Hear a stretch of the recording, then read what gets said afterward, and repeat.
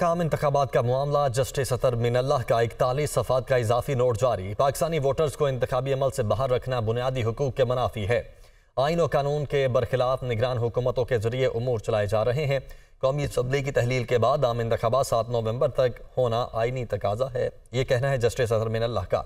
इंतबात की तारीख देना आर्टिकल की अड़तालीस शिक पाँच के तहत सदर ममलिकत का इख्तियार है।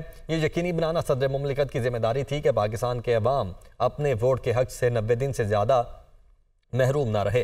इलेक्शन कमीशन और सदर ममलिकत ने आठ फरवरी की तारीख देकर खुद को आइनी खिलाफ वर्जी का मुरतकब ठहराया। जस्टिस अतर मिनल्ला की जानब से मजीद कहा गया कि इंतबात में नब्बे दिन से ऊपर एक भी दिन की तखीर संगीन आइनी खिलाफ वर्जी है। तो आम इंतबात के मामले पर जस्टिस अतर मिनल्ला ने इकतालीस सफात का इजाफी नोट जारी कर दिया है। पाकिस्तानी वोटर्स को इंतबी अमल से बाहर रखना बुनियादी हकूक के मुनाफी है यह उनकी जानब से कहा गया है।